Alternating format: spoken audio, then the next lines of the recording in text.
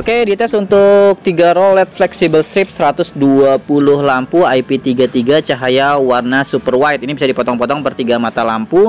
Ketika di bagian potong ini ada tanda positif dan negatif yang kita masukin ke power.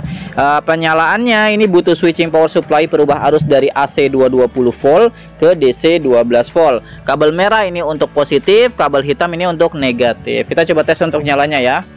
Cahaya warna putih super white. Nah, ini flicker free terang satu roll panjang 5 meter bisa dipotong-potong per tiga mata lampu sudah ada double tip di bagian belakangnya tinggal tempel aja.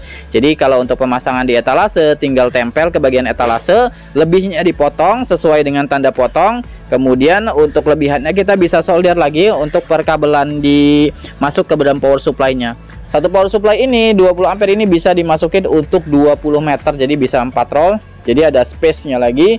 Ini sudah ada kipas pendinginan untuk uh, proses pendinginan dari power supply.